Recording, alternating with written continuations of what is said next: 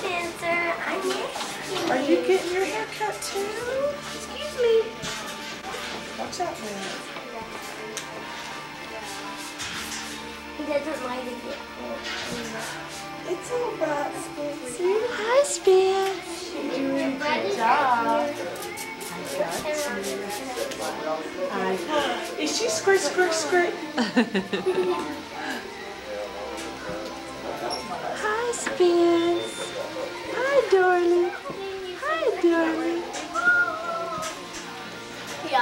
Um, I want it on the sh- uh, yeah, off of his ears. I want just kind of a fade. Not so much off on top, but just a fade all over this.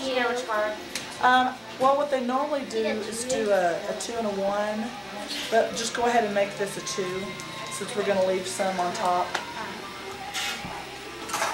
Is that right, Spencer? How old are you? How old is he? He's just turned 14 months yesterday. He's about the same age as my little boy. He is one years old. He's one years old. Hi, Spence.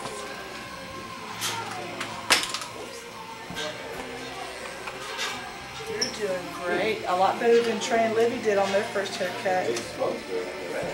Libby, you're making him feel such a real big boy. good. You're making him feel real good, Liv. She's getting all the little doinks out, Spency. That's a cute little name for him. Yeah. We should call him Trey. No. Trey's getting oh, Trey's getting his cut too, huh? You're gonna get yours trimmed. Little Miss I want straight hair. Today is Spencer's first haircut. There you go. It has been said. Oh, we gotta save some curls, huh? Uh-huh. Put it in his baby book.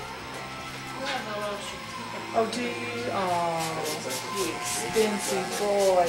You are such a grown up. Most kids just squall, squall, squall. You're being such a Just squall, squall, squall. Those marshmallow ears. No. that was cute, Those Liv. marshmallow ears, you can fold them in any position. You see Spencer being a big boy? Spencer, John dang. Oh, it's looking so much better. You need it so bad. Two for one here. So for bad.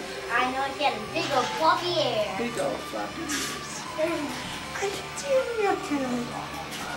Are you doing real good?